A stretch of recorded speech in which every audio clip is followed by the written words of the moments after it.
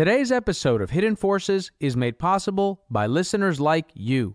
For more information about this week's episode or for easy access to related programming, visit our website at hiddenforces.io and subscribe to our free email list.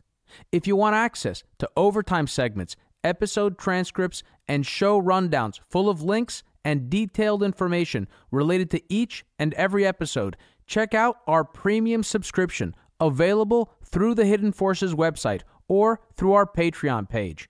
And remember, if you listen to the show on your Apple Podcast app, you can give us a review. Each review helps more people find the show and join our amazing community. And with that, please enjoy this week's episode. In the pre scientific societies of ancient Greece, faded aristocrats, heroes, and kings troubled by the prospects of their uncertain futures, consulted oracles ordained by the gods with the power to foretell clouded destinies settled at birth by three weaving goddesses whose power even Zeus was obligated to obey. The future was, for the Greeks, inescapable, and while it could be ordained in the form of cryptic poems and ominous verses, its path was inalterable, its reasons unknowable, its tragedy inexplicable. It was not until the development of philosophy and later the arrival of the scientific revolution that the tools of prediction passed from the temples of the gods to the observatories of the scientists, and with them came the promise that the future was not only predictable but explicable we came to know that there are reasons for the motions of the planets, the precipitation of the clouds, and the precession of the equinoxes.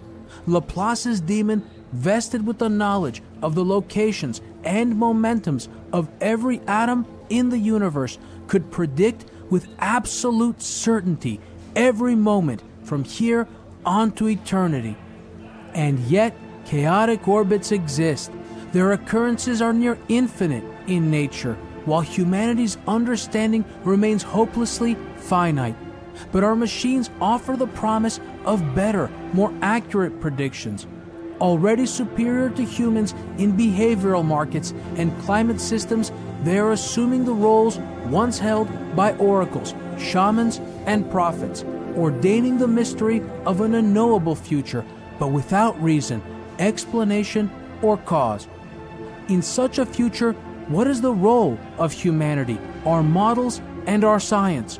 Are we relegated once again to a place of helplessness, fated to enact the futures ordained for us by oracles whose deterministic calculations predict a universe that we can never hope to understand? This week on Hidden Forces, David Weinberger, Complex Systems, Inexplicable Models, and the Future of Human Prediction.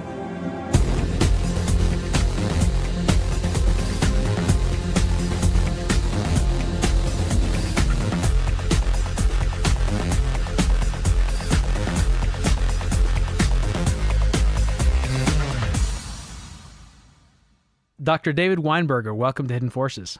Hello, great to be here. The audience doesn't know this, but I was trying to pronounce your name before, and for whatever reason, I was having difficulty, and maybe it's because I'm hungry, and I kept calling you David Weinberger. Uh huh. Yeah, well, that's, you know, up through the fifth grade, I used to get that joke all the time. Oh, really? What did people say? Oh, uh, you want some burger with that wine? Pretty hilarious. That's really funny. That's really okay. creative. That's really awesome. A burger with that wine. I like it. So, David, thank you so much for coming on the show. Thank you for having me. It's wonderful having you on. I'm not surprised that your publisher pitched me on this book. Its title is Everyday Chaos. The subtitle is Technology, Complexity, and How We're Thriving in a New World of Possibility. I understand you're not a big fan of subtitles. They're so carefully constructed. I think they can be really, really helpful. And the subtitle of my prior book too Big to Know takes three lines. I can't even remember what it was, but for many people, that's what they remember from the book. So, you know, subtitles can be great, but there's such complex objects to create. Well, the book covers a lot of areas, so it's not really clear where to start, but I guess we could start where in the area that I found most interesting, which is this idea. And in fact, you actually call one of the chapters the evolution of prediction or the evolution of predicting. And this was what I found most interesting this comparison of machine learning algorithms to conceptual and working models, the way we traditionally do science, and the evolution of prediction through the use of science and epistemology from you really kind of begin at the Enlightenment, but I actually go back to at least the Athenians because I think the progression of epistemology and epistemological philosophy plays such a role there. And of course, I, I emailed with you before today, and, and I expressed also my interest in this relationship between moral philosophy and epistemology, given this stuff with machine learning algorithms. That's uh, a big word vomit. I just put put a lot out there, but that's how you start the book. Maybe the appropriate question to ask you is what do you think this book is about and why did you write it? What were you hoping to accomplish?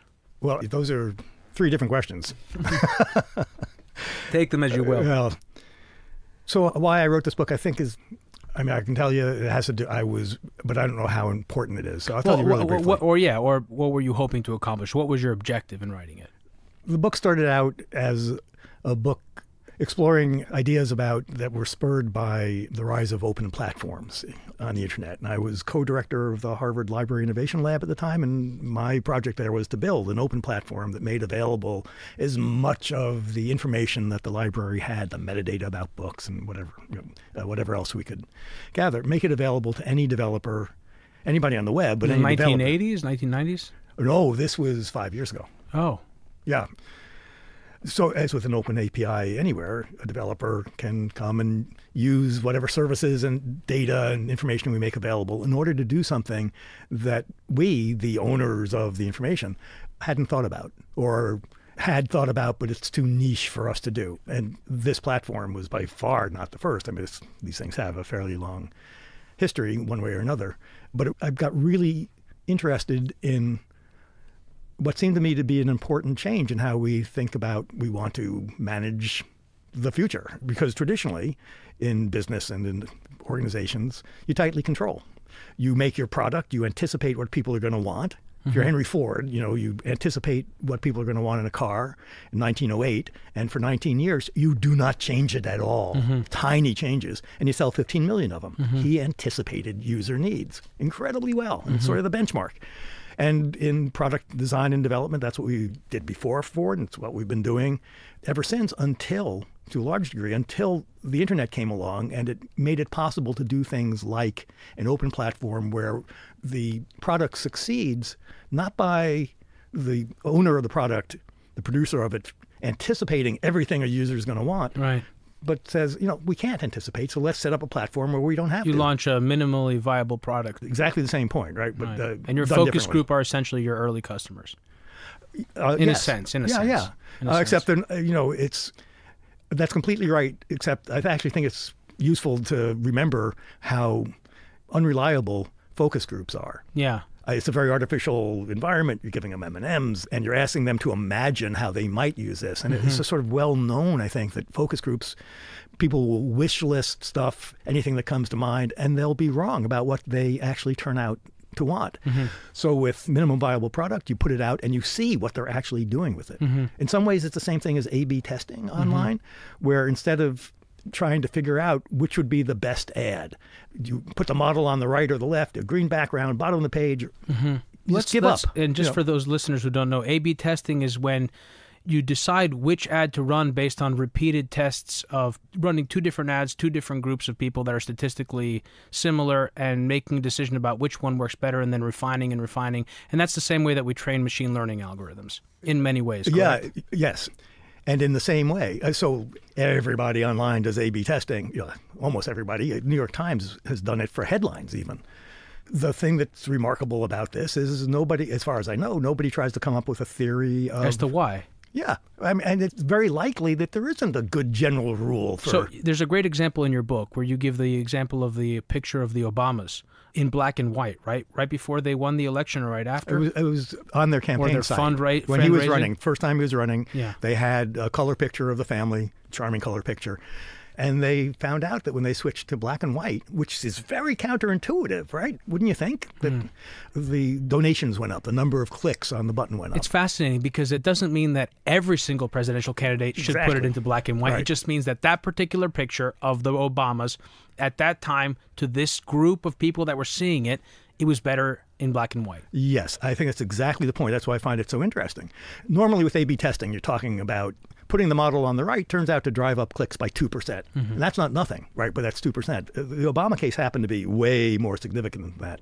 But even when it's just 2%, it's quite likely that it goes up for some delicate balance of transient reasons because you don't learn a lesson from it. You don't say, okay, clothing ad, always put the model on, on the right. Barbecue ad, model on the left.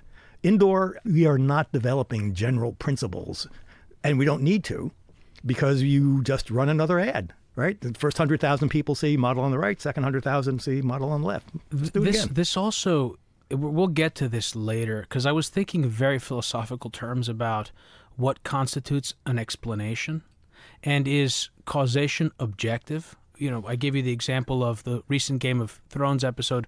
Spoiler, everyone, if you haven't seen Are, the, are you, the episode. sure? May I speak for those who have not yet been spoiled? Uh, yes. Can you? don't don't spoil it. No, no, I won't. I Okay, won't. okay. Okay. Sorry. well, all right. So I, I won't mention it. Fine. But there, there was just simply a moment or an important part of the second to last episode of the season. We haven't had the season finale yet. We're recording this the week before the season I'm finale sure comes out. everything is just going to be fine. Well, the season finale comes out day before this episode will publish.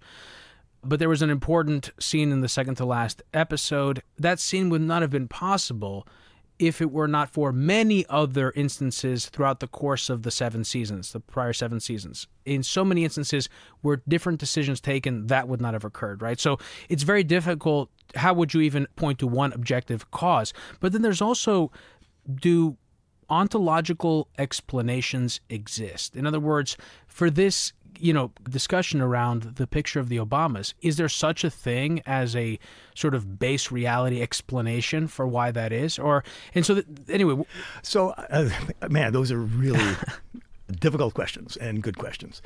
So, I believe in causality. You have to be you believe really, in Laplace's demon? Yes, I think he's actually very relevant here. And I, you know, I believe in scientific laws. I believe in science. I want more funding for science. I want more explanations, more theories. But at the same time, these theories get applied to a world that is vastly complex and figuring out because everything affects everything else all the time. All the time in a causal world, everything affects everything. Our example of causality typically is a billiard ball, cue ball hitting a billiard ball. I mean, that's a mm-hmm. sort of classic. Yeah, yeah, yeah. And sure, um, who would deny that there's some causality going on there? But it's not just the point is, it's not just some causality, it's actually all causality. Everything affects that. We pick out the two balls because that's the thing that we can control. It's a point that Danny Hillis makes. We can aim the cue ball, and so that feels to us like the cause. But the felt underneath the balls on the pool table and the pull of the Earth's gravity and the pull of distant stars' gravity and the photons hitting the ball, all of these actually have an effect because everything affects everything all the time. And so when we think about causality, the issue isn't, oh, there's no causality, at least for me. It's so vastly more complex than the model that we tend to give ourselves. So I'm going to quote Joseph Ford. I sent you Joseph Ford's quote in an email because this is what I thought about in the context of the book. Chaotic orbits exist, but they are like Gödel's children, so complex, so overladen with information that humans can never comprehend them. But chaos is ubiquitous in nature. Therefore, the universe is filled with countless mysteries that man can never understand. I think that is a, a big part of the message of this book, and it speaks to the point of what you're saying now, which is that causality exists, but the systems are so complex that are, as you write, there's a quote I've pulled out of yours, our old, oversimplified models were nothing more than the rough guesses of a couple of pounds of brains trying to understand a realm in which everything is connected to and influenced by everything.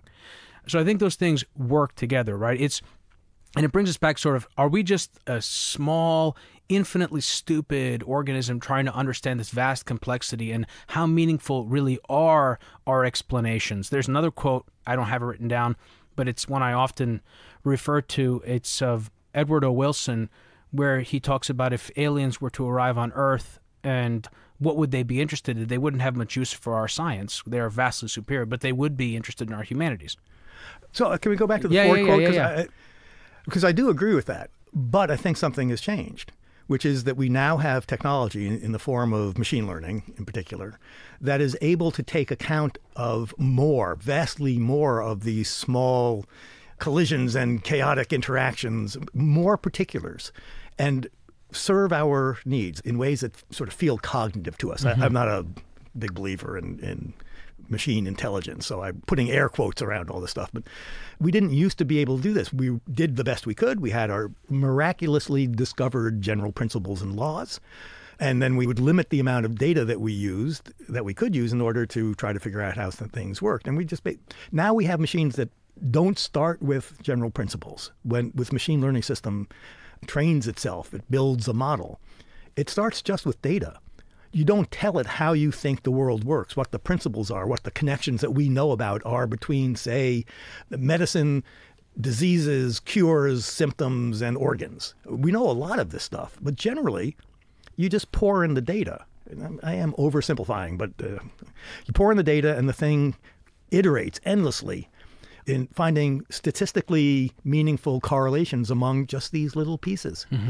And some from this, there might come some general principle we hadn't recognized before, but that's actually pretty rare. Even when we look for generalities and general principles, we often just fail to find them in these systems, at least ones that we can understand. And yet we use them because they do some things better than we do. In some cases, they can diagnose diseases better or predict the weather better. So to follow Ford's quote and to take with what you're saying when he says that uh, the universe is filled with countless mysteries that man can never understand, it seems that we're moving into a place where that doesn't change. We still can't understand the mysteries, but we're able to predict their outcomes. Yes. And so one of the guesses that the book makes, one of the hypotheses, is that now that we have machinery that enables us to take advantage of this non understandable chaos, mm-hmm. we're able to see it. When we had the chaos and a set of laws and we were able to do pretty well with it, right? We should be proud of mm-hmm. what we've been able to do as a species. We paid more attention to the laws. And so it's very common for somebody to talk about, oh, that's just an accident, it's merely happenstance. But nobody ever says, oh, that's merely a universal law. And I'm not saying we, my point is not, oh, those universal laws, they're just merely. The point is the opposite that now that we're able to benefit by feeding these particulars into a, a system that can output results that we care about, it may be that we'll be able to stop always thinking about the particularity of our lives and our universe as merely, as the mere. Maybe we can lose the f- from that and begin to recognize and see in front of our eyes what and acknowledge the basic fact of our lives, which is we live in, in a chaotic Fatal- environment. Chaotic but fatalistic? Is that where you're. No, I don't. I, uh, that's Because isn't that implied in what you're saying? I mean, if chaotic orbits exist, but do we live in a deterministic universe, is my question. well. uh, Do you think? This brings us back to Laplace's demon, which you can explain to our audience for those who don't know who Laplace was and what his demon was. Okay, so I, I'll do that. I just want to make a note. I am not going to be able to answer your question. I don't know whether, but I don't think the answer changes depending upon whether or not we're able to acknowledge the chaos in which we live. Hmm. So Laplace was the Newton of France. He was called that. He was a genius, maybe at the level of Newton. His contributions were astounding, including addressing problems that Newton raised and sort of working out some of the issues. Newton was very devout Christian, and Laplace was a very straightforward atheist. So Newton had a problem with this because Newton described universal laws. They apply to everything in the same way to everything, and that was new in the world. The ancient Greeks, and I agree with you, by the way, this is one place to start it. You can take it back to the Hebrews as well. The book starts with the Enlightenment because that's the beginning of where we are mm-hmm. now. Nevertheless, so Newton had a problem because in specifying that there are universal laws that basically can be used to explain everything, and these laws are simple enough, sort of by accident, you have to wonder, but they're simple enough for humans to understand. There didn't seem to be any room for God. It seemed to be a mechanistic universe that once God created the universe, wound up the clock, you didn't need God nudging anything there is sort of an interesting detail about about Newton. Comets were a big deal at the time, and Newton, purely in the form of speculation, right? Just sort of, I'm thinking out loud when I say this, in that mode, said, you know, maybe these beautiful elliptical orbits, but because Newton understood that everything affects everything all the time, the combined gravitational pull of all the distant stars should pull the planets eventually out of these marvelous orbits, very pleasing mm-hmm. orbits. And so Newton says, I don't know, I'm just thinking maybe a comet is comets are thrown by God in order to pull their gravitational pull to nudge the planets back into their beautiful orbits. Mm. Laplace, flat out atheist, and drew the conclusion that Newton didn't want. Newton was trying to avoid, which was if you had a creature, later got called a demon, mm-hmm. not because he's evil, but because basically an all-knowing Just like Maxwell's God. demon, same yeah, sort yeah, of yeah, idea. Exactly. Or um, um, Descartes' demon, a conceptual thought experiment. Yes, and I think it's likely, at least in the case of Descartes and Newton, that it's a demon because it's really God, but you can't call that thing God. There's only one right. God. So if you had a demon who knew the state of the universe at any one moment, position of everything, the, the forces and the acceleration, all that stuff, that demon could apply Newton's laws and figure out what the next moment is. And of course, then keep repeating it and predict the entire history of the universe and go backwards and figure out everything that had happened from that one moment. That is a universe in which God is unnecessary. Mm-hmm. That sounds like a deterministic universe mm-hmm. for sure. The fact that this gets driven down in the modern age, we're able to, first of all, we know about chaos, that there are nonlinear systems in which the behavior of something can change with a very small incremental Financial change. markets, the weather. Yeah, I, weather is the classic example, mm-hmm. right? A little change in, I don't know, humidity or something, mm-hmm. and now you have a hurricane. Mm-hmm. Up until then, it was just getting more and more humid, then boom, hurricane. Well, uh, I think Edward Lorenz was a climatologist, right? That's or a weatherman, or some mix of the two, or something like that. Um, I think his expertise was in climate systems. I accept that. I, I, I don't know. My good friend Google knows. I could always ask. We him, could but. consult it later, but I interrupted you. Go ahead. The fact that we now are aware that of the chaotic nature of the universe in that sense, you know, nonlinear systems and the like, and are able to deal with massively more data than we've ever been able to because our machines, our computing machines, got mm-hmm. much bigger. We have sensors all over the world and outside of the world. For me, that doesn't change the question: is it deterministic or not? Mm-hmm. It's just the sort of the grains of dust have gotten smaller, and I, it's I don't know. It's so, too big a question. So this is a good way to bring it back to where I wanted us to begin in order to give a foundation. no, it's true because where I was beginning was the evolution of prediction. That we began, human beings began to, in a world where we had no notion of being able to predict the future. For example, we had perhaps certain animistic ideas. If I chanted a certain song, the rain gods would make it rain. Or you mentioned the Israelites, their future was binary. You know, at some point it tips and the Messiah comes, right? Or something like that, right? There wasn't a sense of Am I am I misstating that? You um, made some point in the yeah, book yeah. about uh, about how sort of different contours of the future. Sure, it's different if you think the Messiah has come or if you are working towards it. Let me give you a different example that I think is maybe clearer, also from the book. The Egyptians knew when the Nile was going to overflow because it coincided with the dog star. They had, I, I think that's right. With the, the what? appearance of the dog star. I'm bad at facts. That's okay. But let's say that. They would not have what we would call a theory about why it causes. The question of causality itself is an issue. It was a sign. That's a special class of thing. And so you might want to say, well, they can predict that it's going to come when they see the sign, see the dog star, but it's not what we mean by a prediction.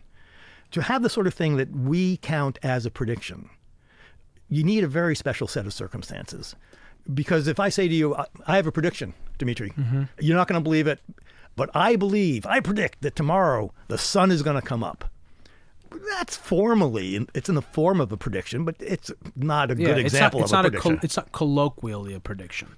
No one, yeah. no one would say, "I predict the sun will rise." It's a meaningless statement, just like saying, "I'm going to guess at who's going to arrive." I think this is from your book. I'm going to guess at who's going to arrive at my unborn grandchild's 80th birthday.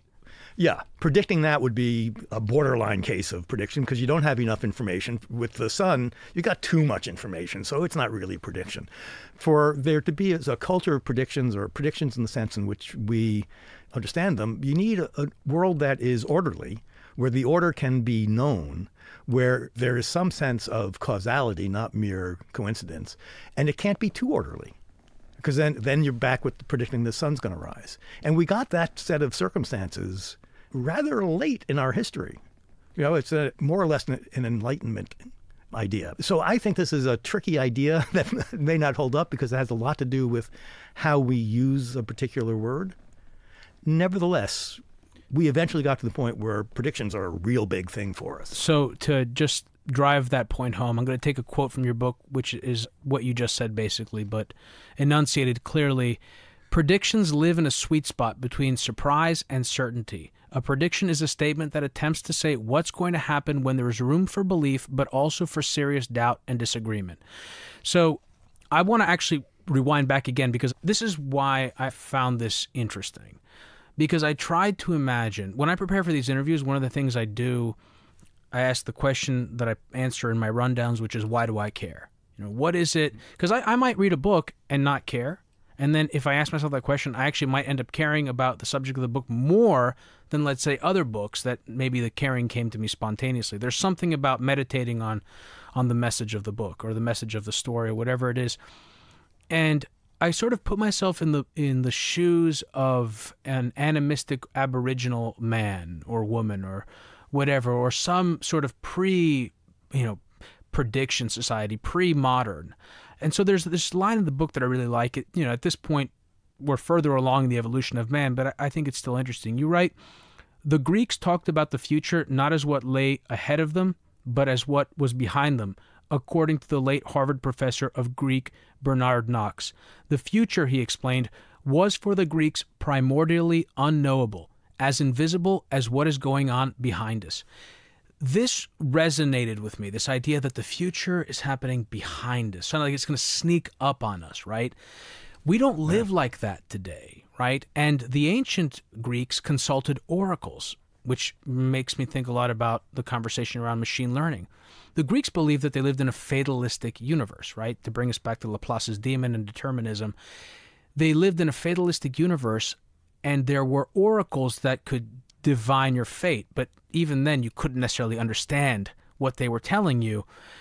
And it's an interesting thing because we seem, in a sense, and there are caveats to this. There are there are interpretive algorithms that attempt to understand the methodology of these machine learning algorithms, but it's interesting to imagine that we might be moving. So we, we went from a world where we had oracles or shaman or whatever that were divining the future. We couldn't understand it, but they were divining it, and we took their predictions at face value or we believed in them to a place where we applied epistemology and reason and the scientific method to understanding the future and predicting it and understanding why we predict it from our conceptual and working models of the world to a place where machine intelligence can provide predictions that are superior to those that are obtained from using our own models that we can understand, but they are predictions that derive from a methodology that we cannot understand. And so when we ask the machines, why, for example, do you tell me that I have a probability of 90% of developing breast cancer and that I should get a preventive mastectomy? Why should I do that? And the machine will not necessarily be able to give you an answer, and yet you'd rather go with a prediction with a higher statistical certainty based on prior, you know, tests of patients than relying on a conceptual model that has a 50% chance of being right. So you'll do that even if the machine can't tell you. You ask your doctor why. What what's the indicator? I mean, is it, and the doctor will, in this scenario will say, well, actually, we don't really understand that. It's some said it's just it's a little bit like at the other end of, of seriousness of triviality. It's a little bit like the A/B testing, where why does the model on the right sell two percent more barbecue kits? We don't know. The doctor will say, look, there's some complex set of factors and delicate balance that these systems are able to see. That the model accounts for them. It's too complex for us to see. Mm-hmm. But here's why you should do it it's not because the machine said you should. It's because the machine has been right. Mm-hmm. It says, when it says 92% chance, so far, yeah, it's been 92% chance.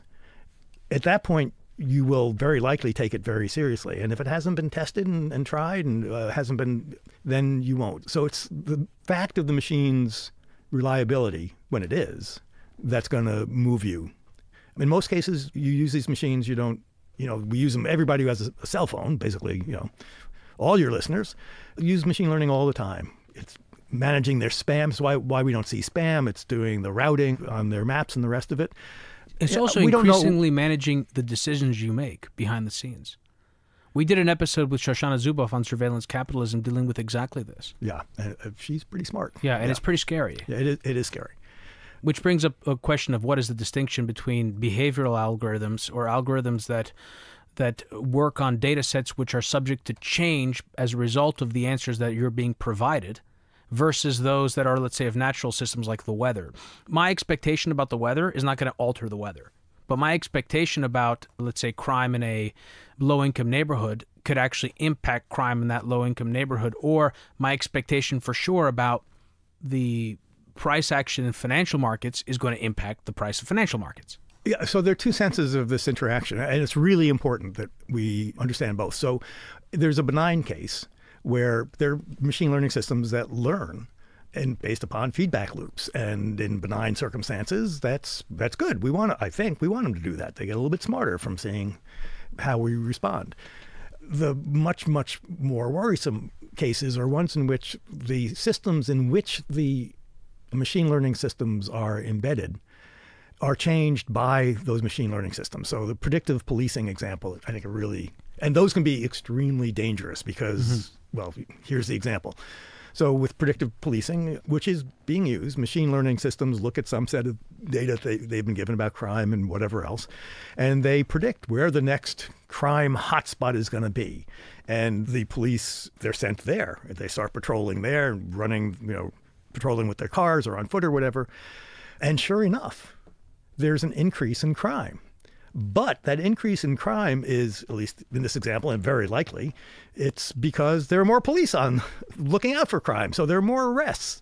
And this then confirms that this area, which distressingly often, because of biases in the data, the data, machine learning learns from data. Sure. data reflects, Yeah. you know, The- yeah, biases data is not is not objective. you've just confirmed and because basically nothing is Exactly. so now you've installed this police predictive system it's doing its job and it looks like it's doing it great because yes there was indeed more crime there thank goodness the police were, were there but it's a phony sort of confirmation and then there are all the consequences of deploying significant police squadrons into an area that it's now stopping and frisking more people is and possibly deteriorating relationships between the population and the police, which has a whole set of consequences.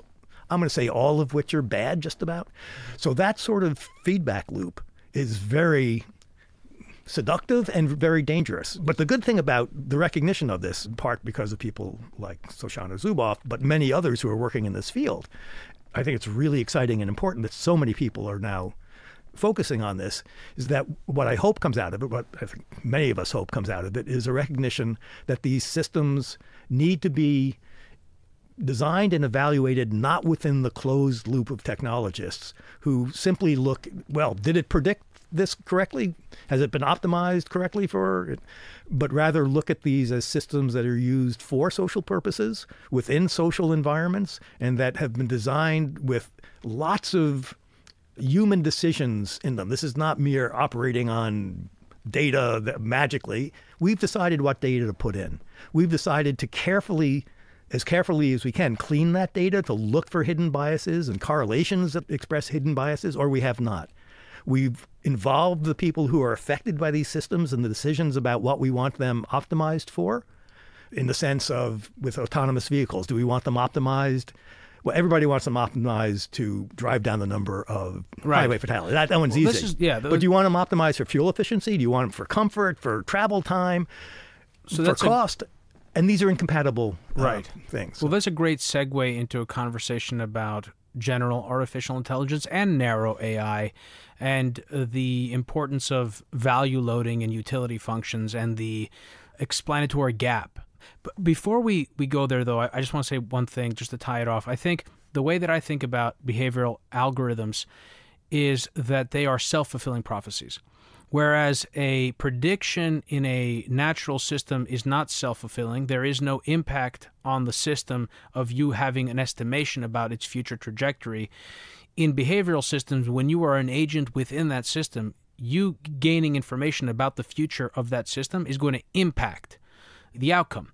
So it, it can be self fulfilling. It's it's the reason why if you think if a sufficient number of market participants expects the markets to drop tomorrow, the markets are going to drop tomorrow, and they're not going to drop in the way that you expected. You know, that's interesting. Bringing us back to the Delphi's Oracle and Oedipus. You know, and killing his father on the way back home.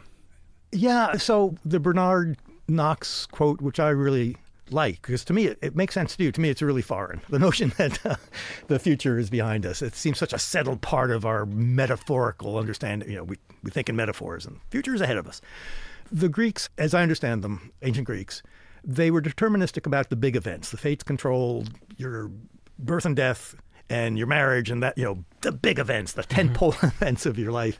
And the rest of it was basically chaos. It was a set of gods who were drunk and squabbling and demons who were just the wild card in life, and you know, at any moment, turtle could drop on your head and kill you. But even the gods were subject to fate. But fate is the big picture stuff. Exactly. And in the course of right. the rest of it, in the modern age, we have lost the sense, even though it is clearly, and it's not just death. I mean, what happens to you every day in ancient Greece was the result of crazy factors that had no principle behind them. It was drunken gods. No observable principle behind. Well, no, no rational principle. Well, they had a tragic view. That Greek tragedy arose from the the understanding that life was full of suffering that was inexplicable. Yeah, you know, people dying uh, suddenly, and that again, the, the, that's the notion of tragedy. That, this is what was so remarkable. I think one of the things that I find so remarkable about the Greeks is that they worked through these difficult, difficult feelings. We actually did an episode with Rebecca Goldstein on moral philosophy, and we talked at length about this. This, to me, is what one of the most sort of interesting thing about the Greeks: the way they dealt with the tragic, the tragedy of life, how tragic it can be, and how comical it can be, depending on how you look at it. Yes, that's well put.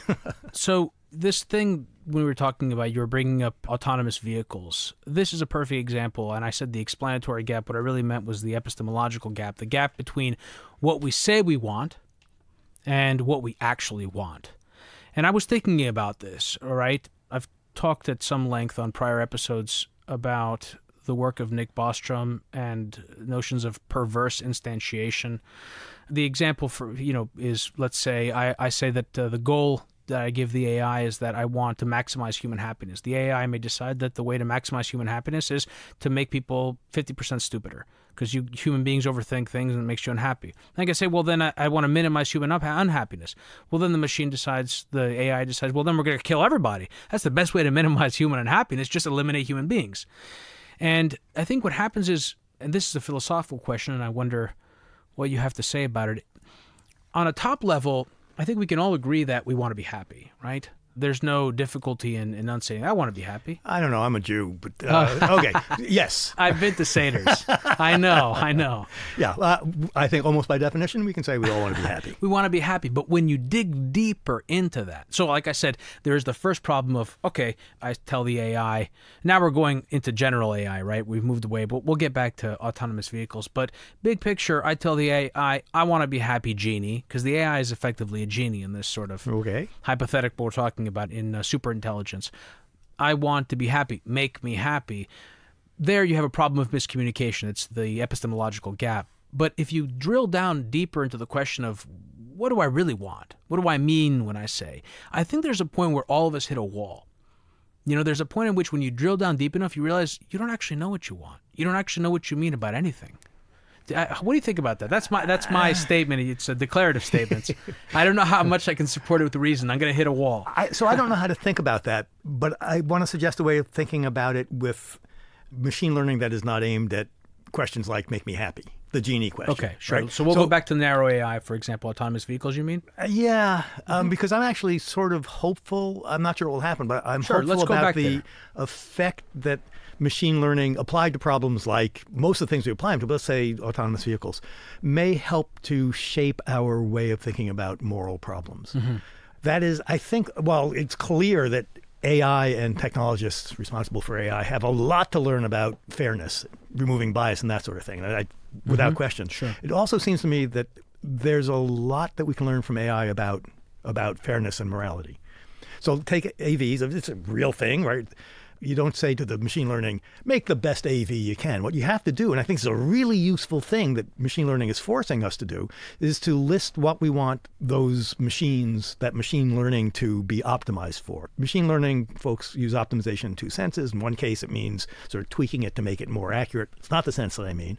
What I mean is, we want them to fewer fatalities. We want comfortable rides. We want better gas mileage or electrical. You know, we want lower impact. We want longer distances, lower maintenance costs, lower cost of owner, or whatever. There's a whole set of values.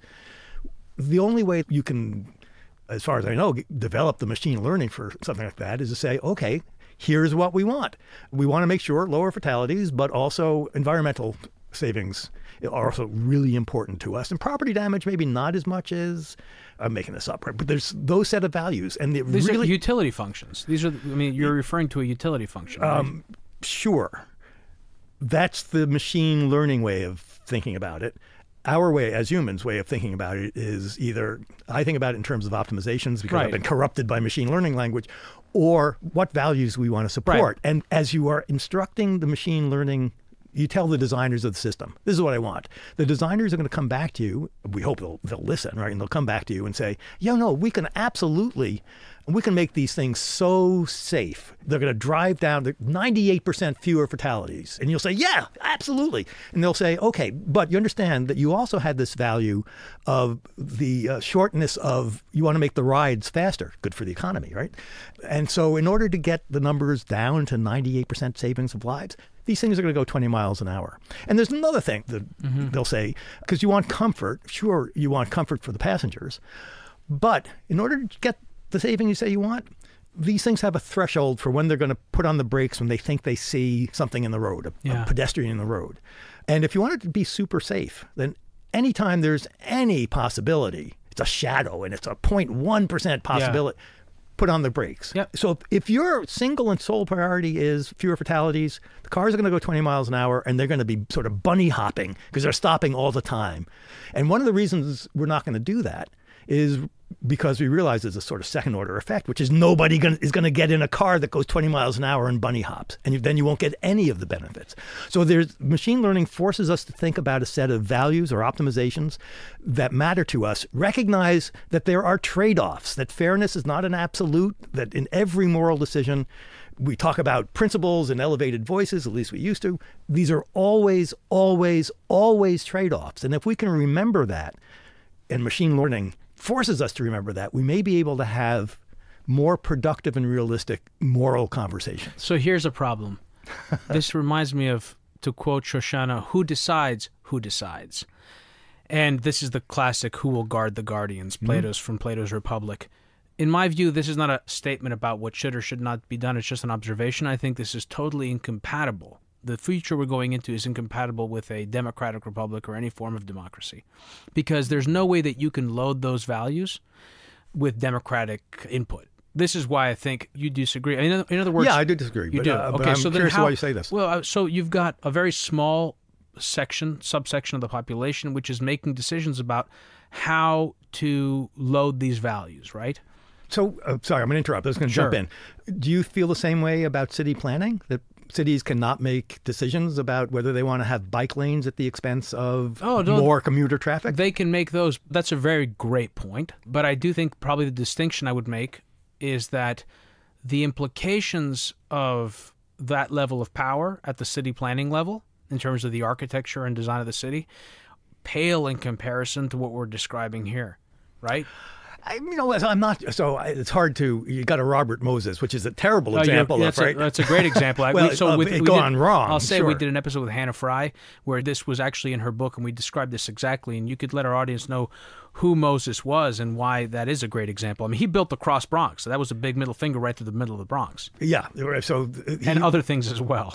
He was the city planner in New York with basically unbridled power. So it's a bad example of a democratic response, little d democratic response, who had fantastic visions for what the city should be, many of which are very valuable, but which he implemented without regard to He just didn't think black human should, costs. He just didn't think black people should be involved in those. Well, He was notoriously racist. certainly the results of what he did skewed racist. but he actually, as far as I know, didn't let anybody. He was a megalomaniac in any case. So that's a good example for your side. It's a bad example for me saying, no, we do regulate these sorts of things. This is what politics is.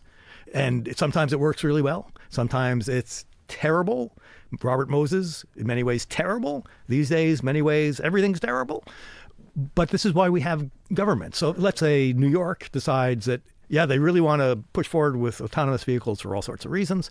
But they are concerned that if they go too fast, then people won't see the city. We'll lose tourists, or people won't be able to stop and get out and visit the shops. And they're also worried about what this is going, the skewing towards the wealthy areas and the rest. What is it going to do to bikes, pedestrian life? All those are decisions that they're sort of city planning decisions that the city is actually going to have to make. It- is really going to have to make those decisions, as all cities are going to. And they will.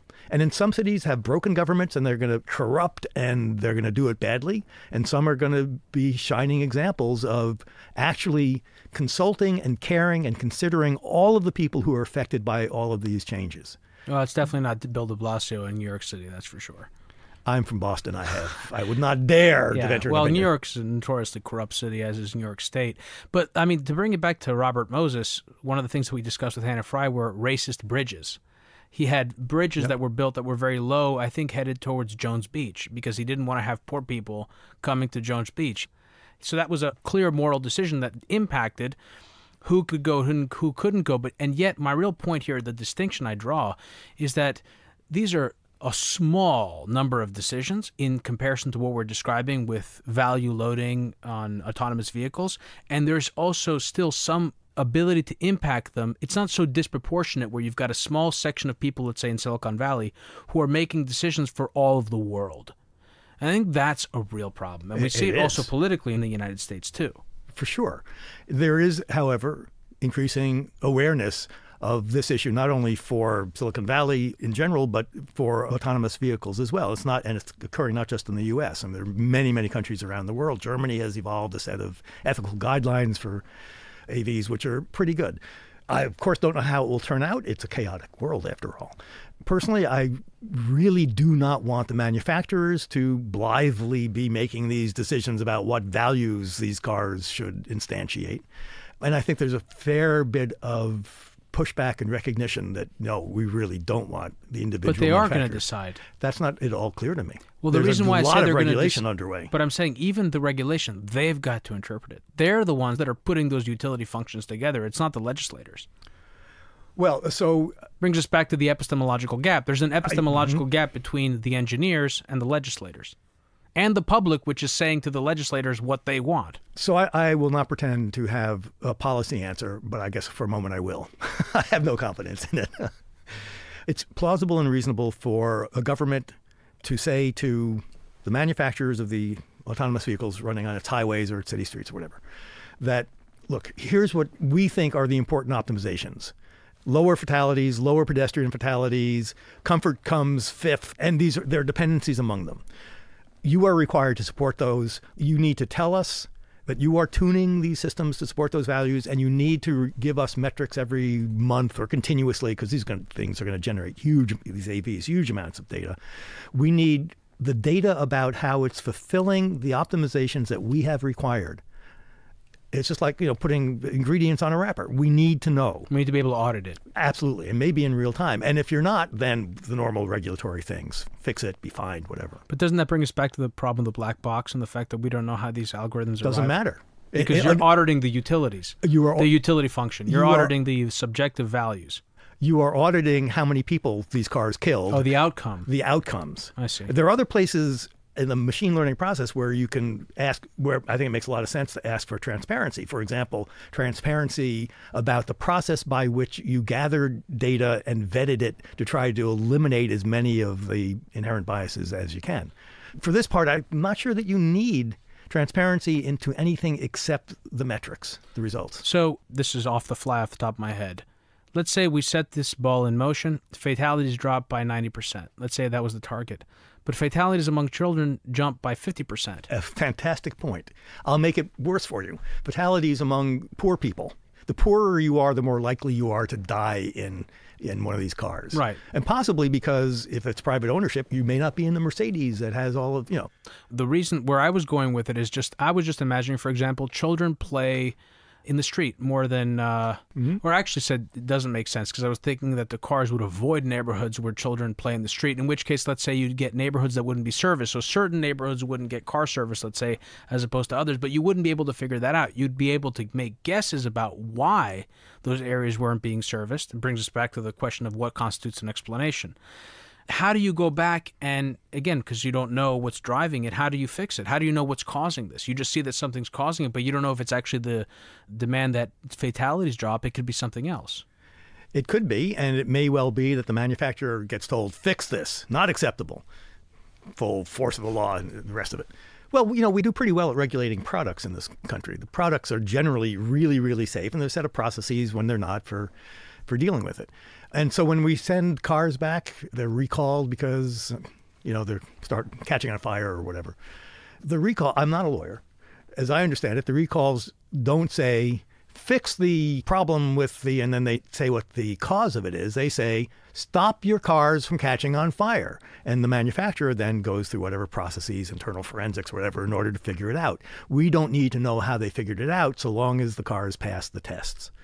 There may well be instances in which, in order to know what the problem is, we need to understand what's causing it. That's, I think, it's not hard to think of examples, so but not always. right so this kind of uh, i mentioned something else to you when i sent you an email yesterday about our uh, conversation today and that had to do with the importance of epistemological philosophy versus moral philosophy.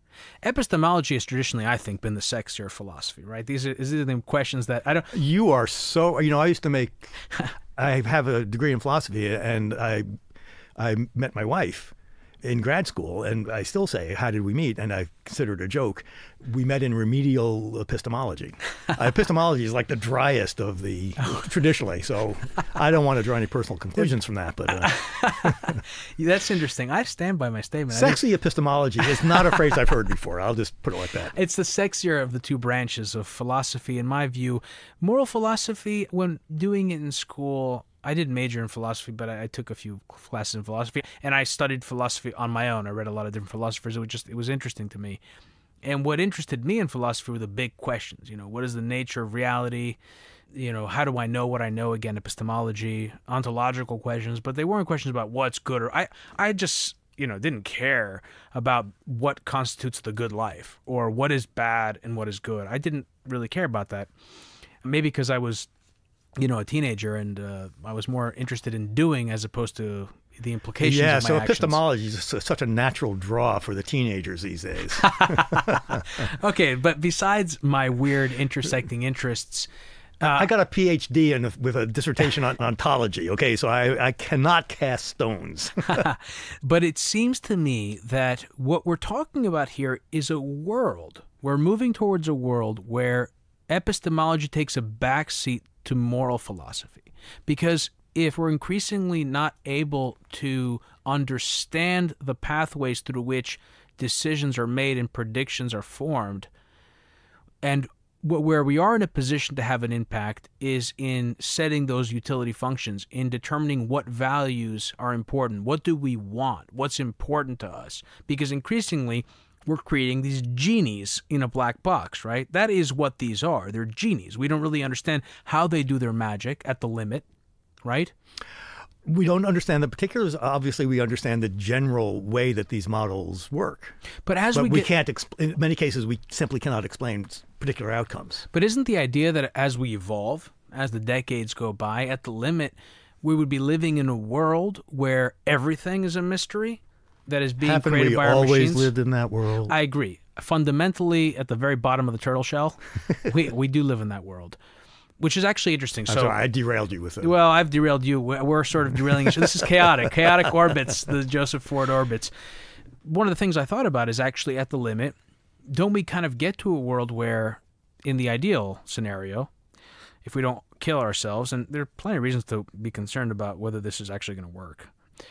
I'm not so optimistic. But let's say we did, we would have all sorts of leisure, right? These machines would be managing our entire lives. The moral questions would what mattered. But to bring it back to your point, haven't we always lived in the mystery? It seems that what intellectually would preoccupy our time would be trying to understand the nature of our world and and addressing that mystery because all the scientific questions would be irrelevant because what's the point of doing science if the machines we have are arriving at answers that are superior to anything that we can create and so they're doing everything for us and we can't really understand the chaotic orbits we don't understand what the nature of the world is without basically throwing bones into the wind and sort of divining the mystery that's a fantastic comment, question, worldview. It's going to be. So let me uh, try to address some small random points in there. So one of the things that drove my my interest in in the topic that became the book is the sense that even though I made the stupid sort of teasy joke that aren't we all all in the mystery, is that for a long time, I'm going to leave it unspecific, but certainly like enlightenment on, we've always lived in a chaotic world world that is contingent and accidental all the time. We can predict almost everything that happens in our life from whether the coffee pot is going to be warm when we get to work or what color shirt you're wearing. It's all beyond our ability, and we don't care that much, but it's beyond our ability to predict. And we've always been in that world. But since the Enlightenment, and we've had this idea very different from the Greek idea that that's just accidental and there's it's actually a well-ordered safe world at least for the privileged in the in the community. And we can bring order to that chaos with our predictions. That order allows us to make the predictions and the predictions allow us to go forward and order further. And I want to stress that this view is one, it is absolutely a view of privilege, that your life is relatively safe, that the turtle isn't going to drop on your head if you're house floods because of a hurricane, you want to sue somebody, you feel bad that there's nobody to sue. I mean, this sense of of order and entitlement and safety. But aren't we all, although we can all get cancer, we can all lose someone we love, we're all subject to caprice. Absolutely. Some are no, more than others, I, but still. It, I'm not saying that this is the world that we thought we inhabited is actually the world. It has always been the case that the turtle that dropped on Aeschylus, Aeschylus' yeah. head. Yeah, we live in that world as well, right? Absolutely. But we've been in a type of denial, a safe, comfortable, calm denial, those of us who are lucky enough to be able to persist in that. With the rise of machine learning, the nature of the world doesn't change. It's just as chaotic and full of risk as before.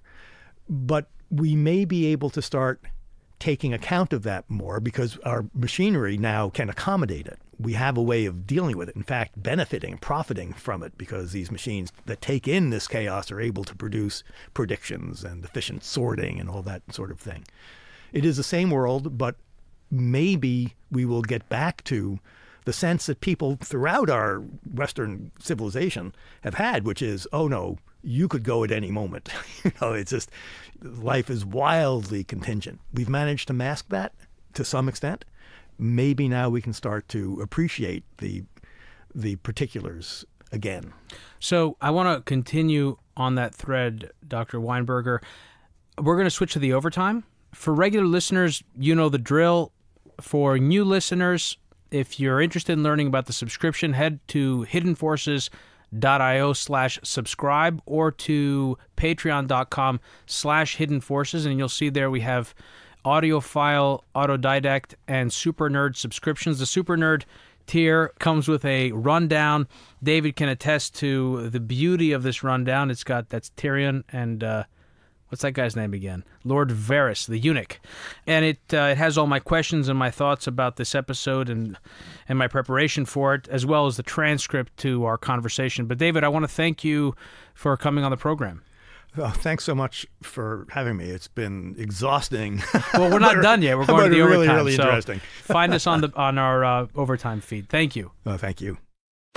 And that was my episode with David Weinberger. I want to thank Dr. Weinberger for being on my program. Today's episode of Hidden Forces was recorded at CMD Studio in New York City.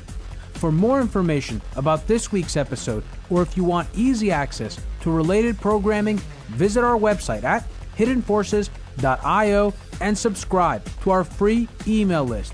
If you want access to overtime segments, episode transcripts, and show rundowns full of links and detailed information related to each and every episode, check out our premium subscription available through the Hidden Forces website or through our Patreon page at patreon.com slash hidden forces.